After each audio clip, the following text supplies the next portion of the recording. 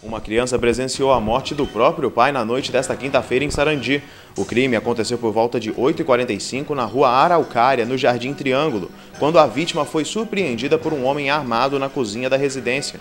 Uma ambulância do CIAT e o suporte avançado do SAMU foram acionados para prestar o socorro médico. O SAMU foi chamado para avaliar uma vítima de ferimento por arma de fogo. Chegando no local, já a vítima encontrava-se já em óbito, com pelo menos quatro perfurações pelo corpo. Todos os tiros ali que foram encontrados eram incompatíveis com a vida, a vítima já estava em óbito e nada pôde ser feito. O homem, identificado como Rogério Faustino dos Santos, de 35 anos, havia saído da cadeia há pouco mais de um mês.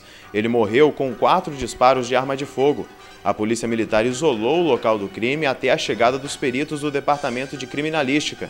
A arma utilizada seria uma pistola, mas o calibre não foi identificado. Segundo informações, ali uma pessoa ela chegou de bicicleta até o local, adentrou a residência chamando a vítima pelo nome e quando ele compareceu ali, quando ele avistou essa pessoa, ela já chegou e já começou a efetuar o disparo de arma de fogo.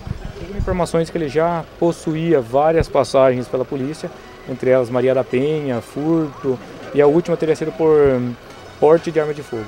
De acordo com informações da Polícia Militar, o autor dos disparos teria esperado os parentes de Rogério saírem da residência para cometer o assassinato. A filha da vítima é a testemunha-chave e poderá ajudar a polícia a elucidar o crime.